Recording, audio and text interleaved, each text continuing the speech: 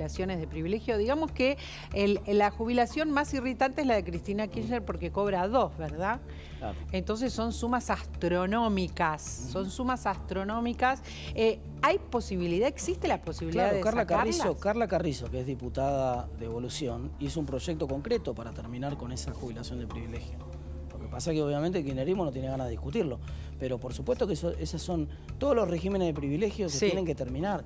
Yo siempre digo, mira, que a ella no le gusta que yo lo cuente, pero porque a veces la, la gente dice, no, pero la política no va a terminar con los regímenes de privilegio.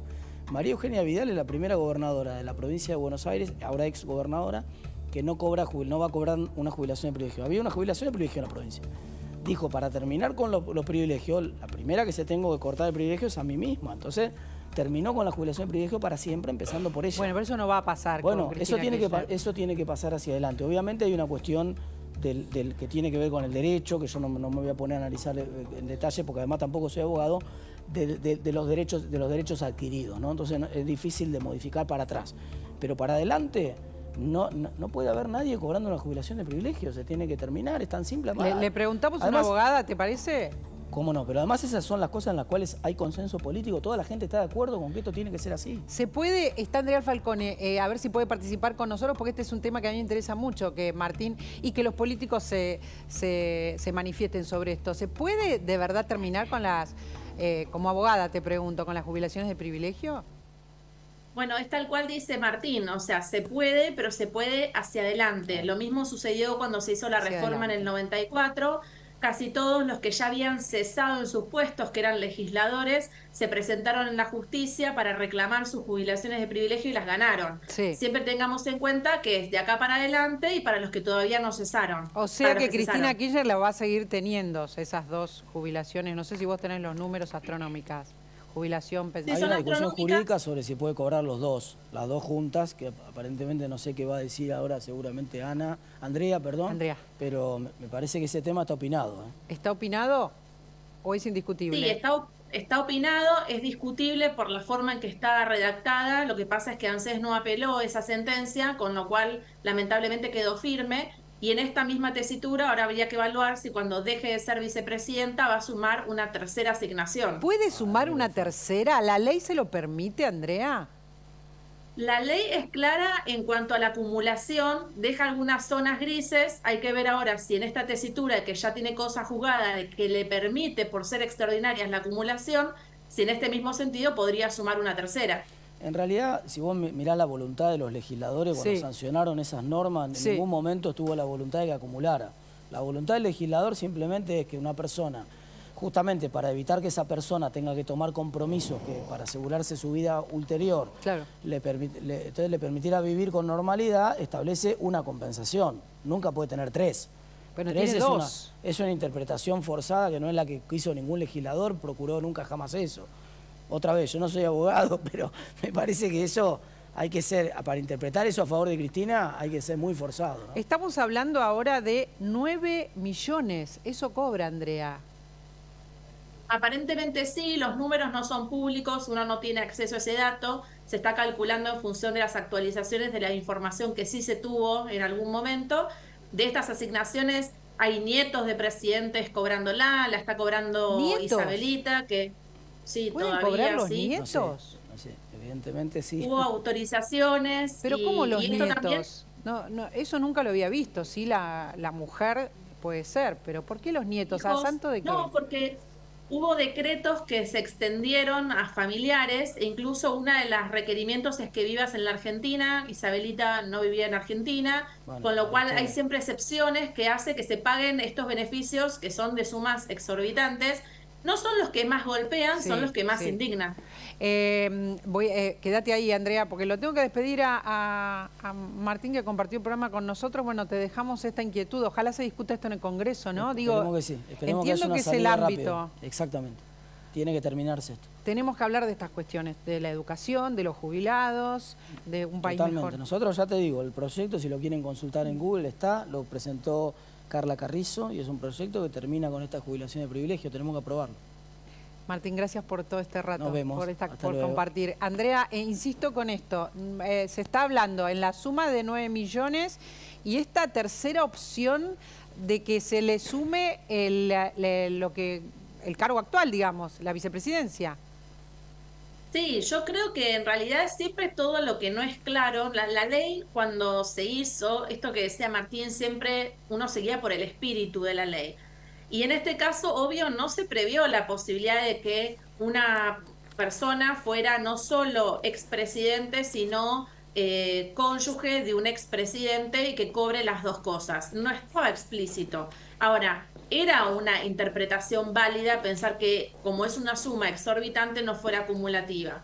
De todas maneras, esta discusión, María Laura, quedó zanjada en el momento en que en la justicia eso no se apeló y la sentencia quedó firme, que ese es el único punto que a mí, que represento a miles de jubilados en sus juicios, me hizo ruido, porque a los juicios de los jubilados normales y comunes los llevan hasta casi la Corte Suprema. Entonces, que ANSES no apelara una sentencia de primera instancia, en este caso, me hizo un poquito de ruido. Ahora, Andrea, eh, digamos, hay una...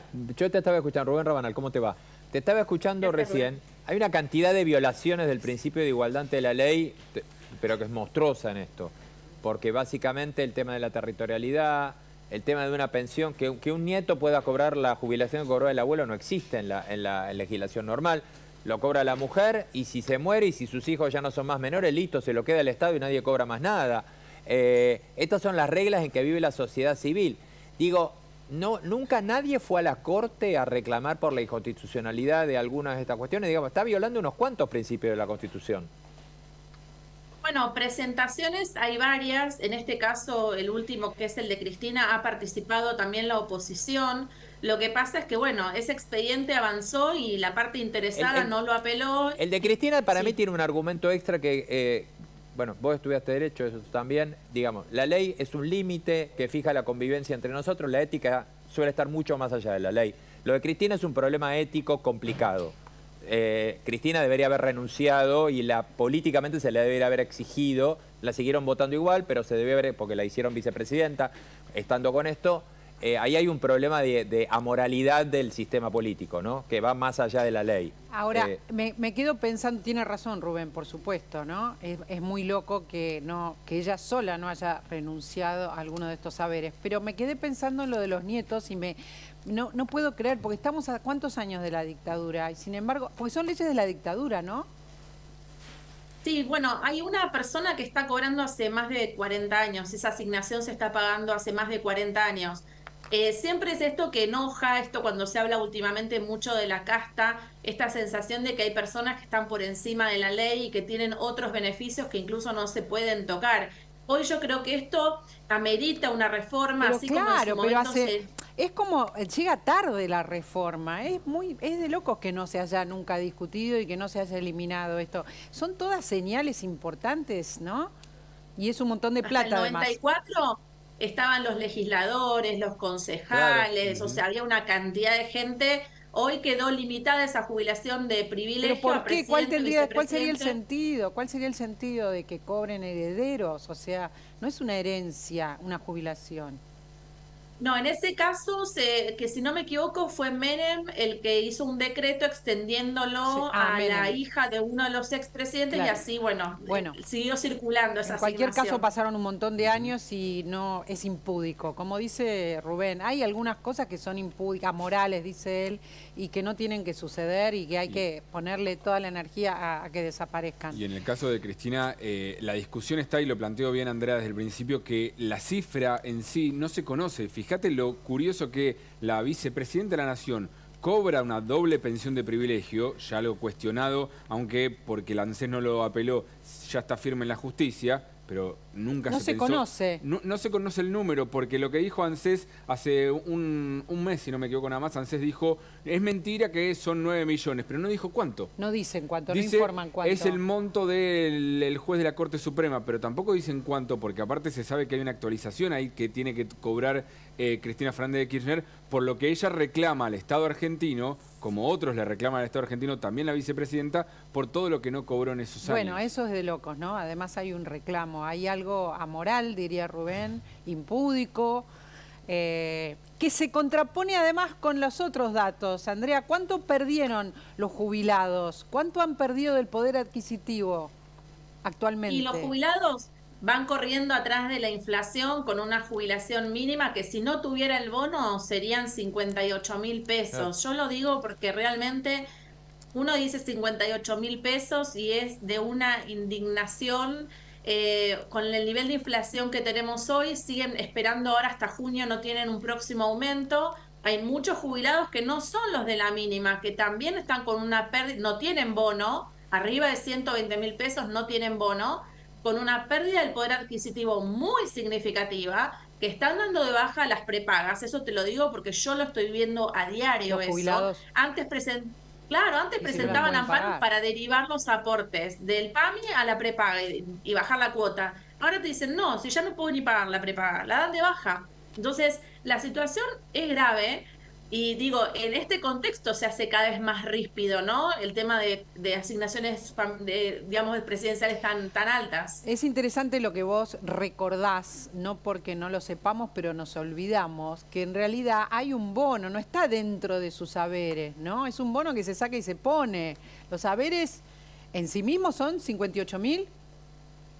La mínima son 58 mil pesos y esto, María Laura, que marcas, es muy importante no sabes si te lo van a renovar, de cuánto va a ser, no tenés previsibilidad. Y esto está claro que igual es una de las tantas cosas que una próxima gestión va a tener que desarmar, porque cualquier jubilado que está ganando arriba de dos saberes mínimos que no tiene bono, dice, pero este bono vino para quedarse, entonces esto es en realidad un aumento encubierto. Sí. Entonces yo también tengo derecho. Eh, y es interesante cuando nosotros vemos, Rubén, a ver si podemos recordar a la gente lo que necesita una familia para vivir.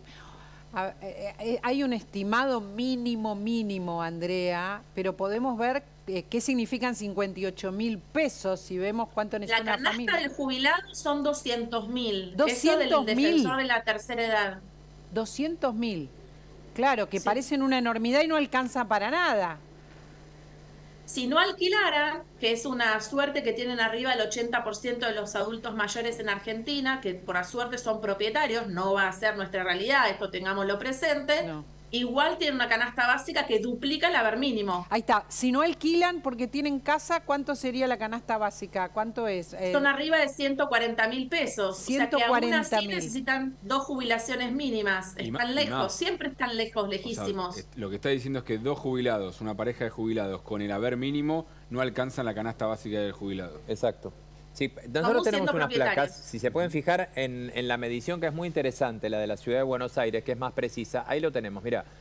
¿Cuánto tiene que ganar una familia para hacer, acá estamos hablando de familias. El primer número es del año, hace un año, más de un año. Claro, pero fíjate, de marzo del 2022 a marzo del 2023, más que se duplicó, es más de arriba del 100%.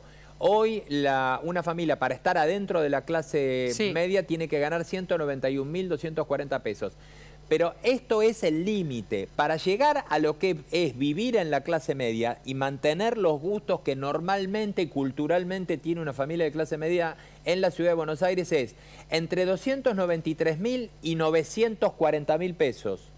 Es decir, arriba de 940, vamos a poner un millón de pesos por mes de ingreso, ahí serías una familia acomodada, de acuerdo a la denominación de la ciudad de Buenos Aires. Eh, ahí estamos hablando, Andrea, de una familia, ¿no? Lo que vos decís que necesita, si tiene una, eh, si es propietario, es arriba de 120 mil pesos un jubilado y gana 58 mil. Claro, porque María Laura, el jubilado tiene eh, características distintas al resto de los consumidores. Entre ellos, por ejemplo, no siempre se mueven en transporte público. Muchas veces necesitan un remis. Tienen medicamentos que no tienen el 100% de cobertura. Entonces, al no tener el 100% de cobertura, tienen un gasto médico. Entonces hay muchas cosas especiales en las canastas del adulto mayor a ponderar y creo que la situación hoy, sobre todo la más preocupante es la alimenticia, porque eso es lo que determina nuestra salud. Entonces que hoy no tengan acceso a pescado, a carne, a verduras, a lácteos, es complejo. Eh, Andrea, seguimos hablando otro día, te esperamos acá, ¿eh? Mil gracias por, por, este contacto, pero te esperamos acá, hay mucho para hablar, se nos termina el programa. Cuando quieran. Muchísimas gracias.